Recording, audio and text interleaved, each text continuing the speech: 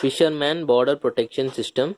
This is the rf transmitter. This is rf receiver gps gsm arduino a motor a battery relay switch buzzer and the uh, lcd you can see the ship is in near border. That is our rf receiver getting signal from the transmitter. Let us consider this transmitter is kept at the port or near the port.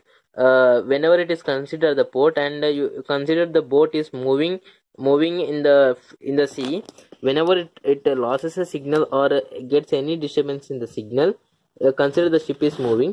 Whenever it is moving uh, there is a loss of signal. For that loss of signal i am removing the transmitter uh, cable. I am removing the transmitter cable so that okay firstly I did, I did not switch on the engine. I am switching on the engine. Uh, i will keep it i'll keep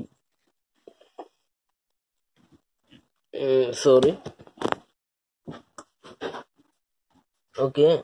I'm i'm starting the engine. You can see the engine is rotating. Sorry.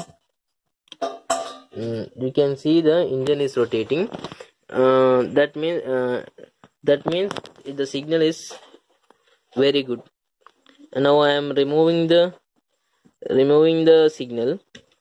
You can see that ship is out of border and we'll get a buzzer sound. And the engine stopped. And after 5 minutes the engine gets reversed. Okay thank you